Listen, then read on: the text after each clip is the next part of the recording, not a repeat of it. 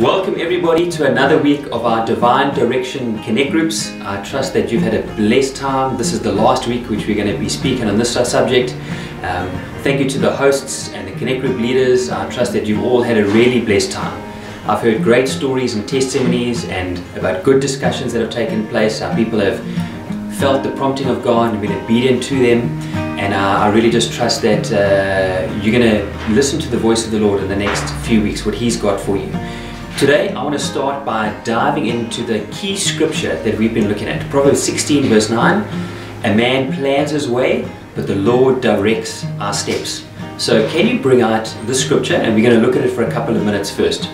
We're going to read it in different translations, and I want to, I want you to ask and look at these two elements. Firstly, what does the scripture teach us about ourselves? Is there something we need to do? Secondly, what can we learn about God from the scripture? Something about his nature, his character, who he is. Have this discussion amongst each other and let's hear what comes out.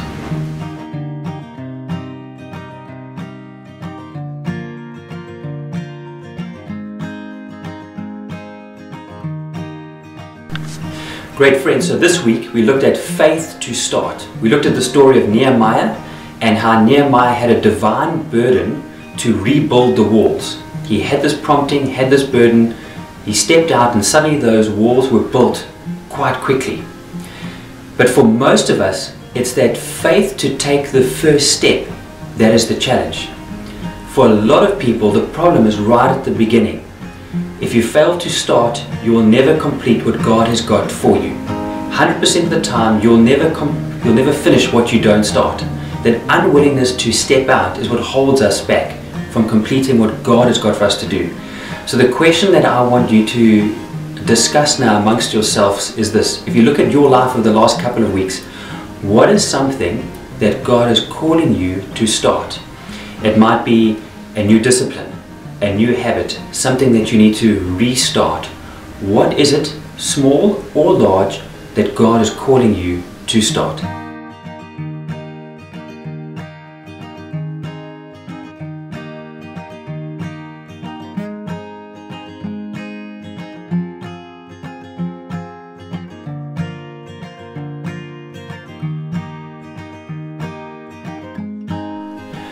Hopefully you've all been able to describe something that you feel that God is calling you to do and well done for that. The first step is to acknowledge what He wants you to do. Secondly, what is your next step that you need to do? I love Bill Hybels in his explanation about how do you get tasks done. He says firstly, find a date of when you need to do that particular task and you'll be 50% of the way to completing it. What is your next step? Is it to find a date, find a theme, a person, make an appointment. Um, what is it that you need to do? I love Zechariah 4 verse 10. It says, Do not despise these small beginnings, for the Lord rejoices to see the work begin. God loves it when you take that first step and you start to begin. He rejoices in that moment. Even as you're thinking of these new challenges and what God has got for you, Hear the delight of God that He's rejoicing as you step out of your comfort zone and you respond to His promptings. Here's my question for you What is your next step? Quite simple.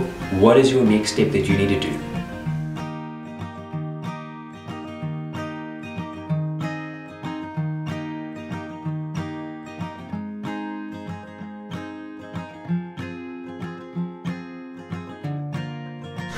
Okay friends, this is our last question of our whole series and then I'm going to give it to you now, have a quick recap and then you're going to discuss it at the end. So the question is, what is your biggest takeaway from the series?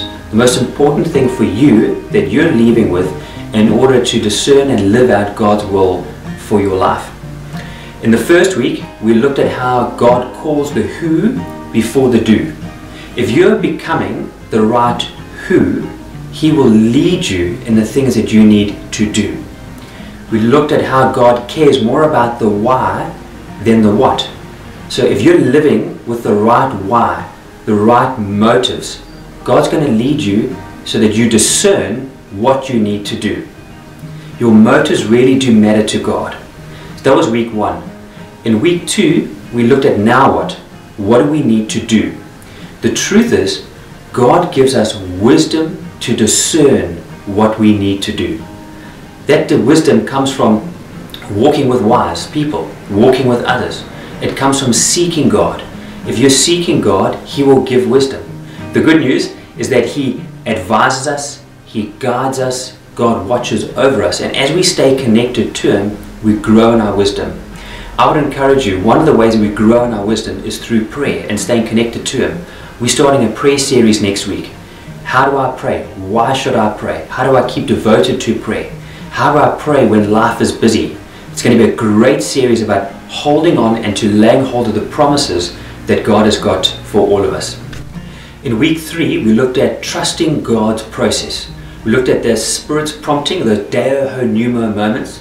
We looked at the certain uncertainty where we don't know how everything's going to work out. What we do know is that there will be a predictable resistance. So don't worry if you're facing some opposition and you're serving God. You do want to worry is when you're serving God and you've got no opposition. And we looked at lastly how there was an uncommon confidence that Paul says we can have when we know God.